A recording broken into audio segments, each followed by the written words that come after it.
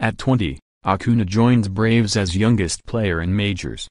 Cincinnati, App, no break-in period needed for 20-year-old Ronald Acuna Jr. Promoted by the Atlanta Braves from AAA, the youngest player in the majors was put into the starting lineup Wednesday night, batting sixth and playing left field against Cincinnati. I'm not worried about too much, Acuna said through a translator. I'm just going to give it my best effort and leave it all out on the field. I'm trying to approach it like a minor league game at the major league level.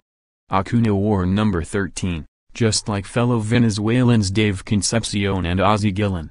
Atlanta manager Brian Snitker said there was no doubt Acuna would start in his debut. I didn't even think about that, Snitker said. We've never done that with any of our young players. If they come up, they need to play. Acuna rose from Class A to AAA in 2017, hitting a combined .325 with 21 home runs, 82 RBIs and 44 stolen bases. Then he was selected MVP of the Arizona Fall League. He began this season as MLB.com's number two overall prospect behind Angels two-way sensation Shohei Ohtani.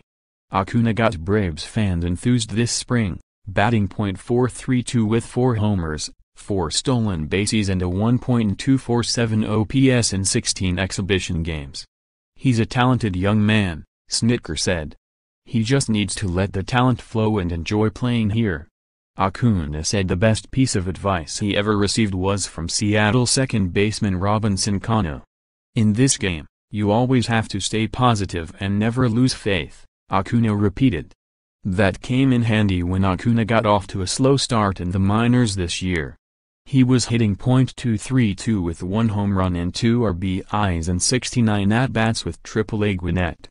Gwinnett manager Damon Berryhill told Acuna about the promotion about 11 p.m. in Rochester, Acuna said. He called me to his hotel room and said I was getting the call to go to the big leagues, Acuna said. I've been waiting for this moment, but when I got the call, I was in shock. I didn't know what to think. Outfielder Peter Bourjos was designated for assignment to make room for Acuna on the roster. By pushing back Acuna's call-up a few weeks past opening day, the Braves delayed Acuna's free agent eligibility until after the 2024 season. Acuna said he believes the extra time was a benefit. I think it helped me develop more and be more prepared, he said. Acuna and 21-year-old second baseman Ozzie Albies will give Atlanta the two youngest players in the majors. The outfielder understands that reaching the majors so early is unusual, it's a dream that not every baseball player gets to enjoy, he said. It's something I take pride in,